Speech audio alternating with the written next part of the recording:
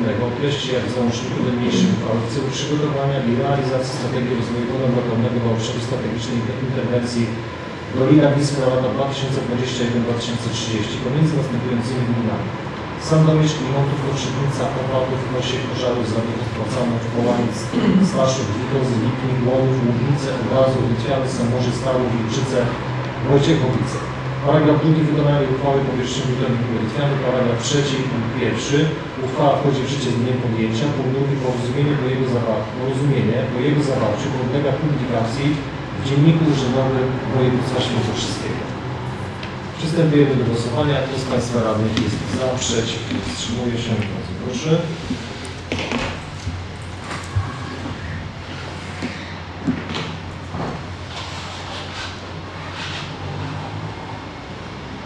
Dziękuję bardzo. Głosowało 12 radnych, 12 za, przeciw 0, wstrzymujących się 0. Stwierdzam, że uchwała została przyjęta.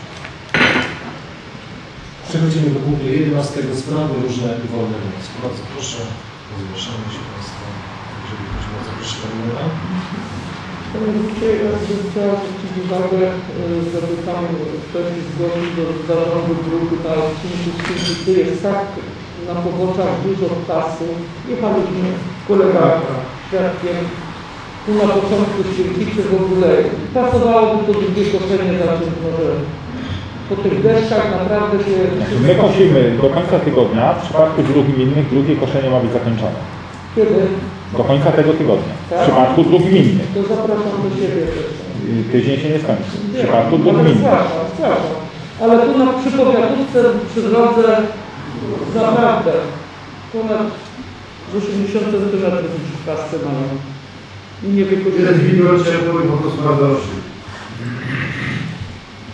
No i te prace dla nas mamy i te projekty realizacji powiatówki. Pracowników uzgadniali. Uzgadnialiśmy, No. że w tym tygodniu będzie No, zrobione. bardzo. Uzgadnialiśmy. No, przypominam tylko. Proszę bardzo, czy ktoś z Państwa jeszcze? Jeśli Panie Przewodniczący, ta sprawa szczególna, szczególna, też chodzi tam w szkolu, to będzie strona szczególna. Ta sama sprawa wchodzi na ten chodnik i niedługo też żeby zgłosić właśnie do zarządu bo oni to Czyli Państwo zgłoszone mają, y, mają spryskać. Mają spryskać, bo w dużej mierze, Szanowni Państwo, część, y, część tych chwastów jest... y, Część tych chwastów y, rośnie na drodze w miejscu łączenia asfaltu z krawężnikiem. Umówiliśmy się z dyrektorem zarządu dróg powiatowych w ubiegłym tygodniu w piątek, że w tym tygodniu, tylko od pogody oczywiście zależy, bo te deszcze różnie padają, mieli znaleźć, znaleźć sobie jakiś taki fajny termin, żeby to spryskać, żeby nie było ryzyka, że po prostu gdzieś za godzinę dwie pójdzie jakiś deszcz. I była taka deklaracja, że, że, że wyglądały. W przypadku, w przypadku Strzegomia i, i, i ulicy Klasztornej e, mamy wystąpić do dyrektora zarządów powiatowych z wnioskiem o e, naprawę tych chodników po raz kolejny z informacją do pana starosty, ponieważ e, budżet zarządów powiatowych e, w roku bieżącym w porównaniu do analogicznego budżetu roku ubiegłego uległ obniżeniu o ponad 40%. że w dalszym ciągu ulica i chodniki Nie mają za co między nami, jeżeli budżet wynosił 3 miliony 800, a teraz nieco ponad 2 miliony, bo się czyni oszczędności, Szanowni Państwo, to możecie mówić, prosić yy, i tyle. Ja tak mam takie pytanie poza konkursem, bo Przynajmniej do takiej informacji, Szanowni Państwo, dotarłem w Biuletynie Informacji Publicznej yy, w budżecie yy, powiatu yy, stosunek 2020, budżetu 2021 do budżetu 2020. Yy, 19 rok jeszcze, jeszcze, jak dobrze pamiętam, jest, bo już 18, 17, nie, 19 budżetu nie ma, bo trwają jakieś błędy w, BIP-ie pokazują się inne uchwały niebudżetowe w tym miejscu. Ale starostu jak pan tam budżet sobie? E, No, trochę inaczej przecież niż, gminy budżet tu 40%, nie wiem. Ale to z tego samego, co Państwo podejmiecie, dostaniecie projekt uchwały budżetowej. Obniżymy w pewnym momencie wydatki na drogi o 40%. Yy, No bo powiedzmy, wójt dojdzie do tego wniosku, że nam są niepotrzebne remonty. Rada gminy przegłosuje i skąd się bierze 40% mniej.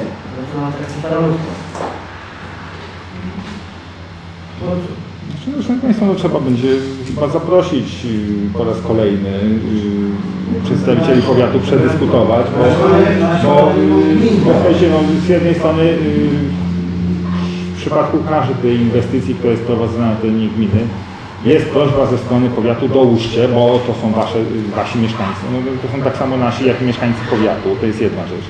Druga, realizuje y, powiat takie inwestycje, czy minie 2, 3 czy 4 lata, czy ta gwarancja się skończy, czy, czy się nie skończy, to jak się coś dzieje, no to jeszcze jak jest w, gwaran- w okresie gwarancji, to jeszcze coś się uda naprawić, ale jak się dzieje to, co się dzieje w przypadku Strzegomia, tam były powiedzmy nawalne deszcze, osunięcia chodnika po, po tych deszczach, jeszcze gwarancyjne, klasztorna to jest po gwarancji i chodnik się rozchodzi, zsuwa się po prostu do, do lodu, zsu- zsuwa się część kostki, już jest po gwarancji, no to zarządca powinien to zrobić, no jak nie ma pieniędzy, to nie masz czego zrobić. A do inwestycji mamy dołożyć. Yy, Później problem z należytym utrzymaniem stanu technicznego tego obiektu.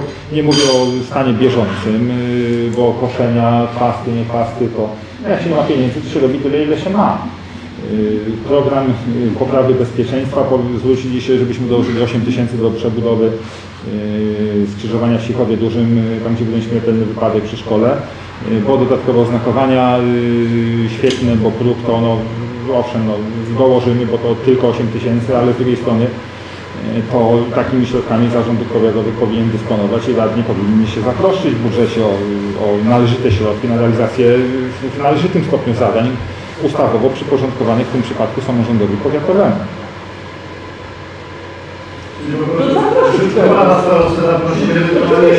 Gdyby... Może, może nam trzeba wjechać na Ja sesję? no, na sesję i no, przedstawić całą sprawę, bo y, no niestety takiej Niektóre są się na Ale nie, Szanowni Państwo, ja się zgadzam z Waszymi opiniami. Tylko jeżeli widzę strukturę, tak powiem, budżetu w ubiegłym roku i w bieżącym roku, to yy, weźcie sobie jeszcze yy, poprawkę na inflację, bo koszty, koszty paliwa, bieżące utrzymanie, powiedzmy zima, zima kosztuje.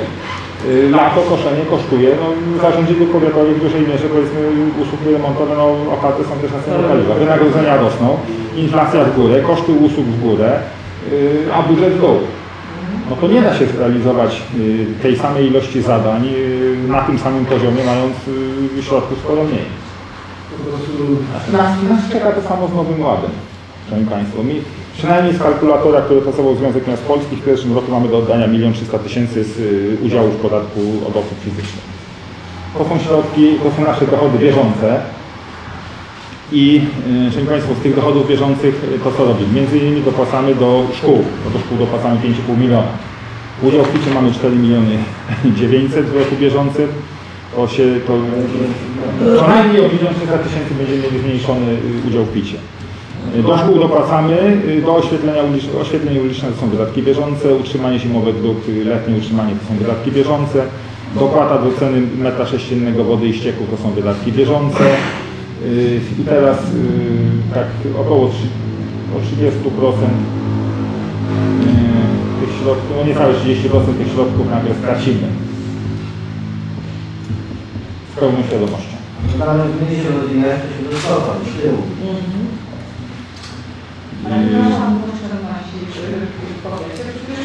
Ale ja mówię, nie. teraz, zimy teraz to tak naprawdę nie było. Ale to, Nie mają wypracowanych oszczędności, to nie Nie można przesunąć tego, tego, yy, zima to była, szczerze mówiąc. Ale nie, pani dyrektor, yy, moim zdaniem tak, no dobrze. Jeżeli ma Pani, jeżeli Pani, pani ma 4 miliony budżetu i wypracuje Pani 10 milionów oszczędności, to jest ile? 400 tysięcy. A jeżeli Pani ma, yy, dokładnie, jeżeli Pani ma budżet 2 milionowy i wypracuje Pani 10 milionowe oszczędności, to ile Pani ma? Tak, 200 tysięcy tylko, połowę tego. Dróg nie ubyło, problemów nie ubyło, ubyło tylko pieniędzy. W sytuacji, gdy inflacja powoduje, że te ceny usług, materiałów rosną. Tak, że się cofniemy i jeszcze nie będzie nam pieniędzy starczyć na te remonty, które żeśmy... Tak. Znaczy w przypadku, w przypadku gminy jest poważne ryzyko, Szanowni Państwo, że, że mimo dostępności w najbliższych tym czasie, mówię perspektywa dwóch, trzech lat, bo to nie będzie w ciągu roku, W ciągu roku y, może być problem z y, przyjęciem budżetu na przyszły rok. E, To realnie przewiduję, że może być taki problem po, po y, Nowym Ładzie. A w perspektywie dwóch, trzech lat, zamiast sięgać po środki unijne, to, to środki będą leżały, a my nie będziemy mieli pieniędzy na udział własny. Jest jakaś obietnica subwencji inwestycyjnej, ale to mówimy o inwestycyjnej. Czyli jeżeli rząd da samorządom subwencję inwestycyjną, to my tych środków nie będziemy mogli przeznaczyć na dopłaty do metra sześciennego wody ścieków, nie przeznaczymy na zimowe utrzymanie i nie przeznaczymy na dopłaty na przykład do utrzymania szkół. Dokładnie, dostajemy na inwestycje, no to na inwestycje, no coś tam jeszcze gorzej, lepiej się dostanie pewnie, nie? A problem będziemy mieli z bieżącymi wydatkami. Zmodernizowaliśmy oświetlenie uliczne na LEDowe. E, Kolega z Bielin mówił, że ta sama firma robiła i dokładnie tą samą technologią, mają o 50% oszczędności w dół. No to mm, żeby się nie okazało, że przy tych oszczędnościach jeszcze, jeszcze będziemy wyłączać nocy, bo nie, nie będziemy mieli pieniędzy na wydatki bieżące. Z tego wszystkiego wygląda, że tylko telewizji jest tak fajnie.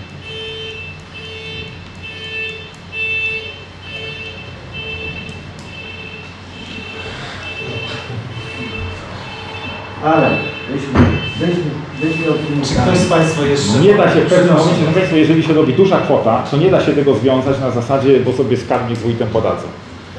Będziemy to po prostu przy- obserwować na przestrzeni czasu, zobaczymy co z tego wyjdzie. No bo teraz nie jesteśmy w stanie, my jako samorząd mały, zareagować, żeby to coś zmienić w tym temacie, także musimy czekać na rozwój wypadku. Ale jeszcze chcę dodać, mogę Panie Przewodniczący, jeśli jest taki chodnik pogwarancyjny y, w naprawie, tak jak tutaj już, już się rozchodzi, co ja mam powiedzieć, jak tyle lat tam czekam? Ale to No nie, nie, nie. proszę Państwa, to dotyczy wszystkich, wszystkich trzech przypadków ale- Dlaczego oni to robią? Przepraszam bardzo, przepraszam bardzo. Ja mam dzisiaj takie, takie, no, taką refleksję na ten temat, mówię, że e, to wszystko nie ma skutku bez przyczyny, prawda? No, przyczyną tego, że tu się upominamy non stop o jakieś e, awarie, naprawy i tak dalej, i tak dalej. To jest jakość wykonania, nadzór nad tymi inwestycjami. To też ma swoje odniesienie do tego wszystkiego. Gdyby to wszystko było zrobione od początku do końca, Należycie. Naprawdę, należycie.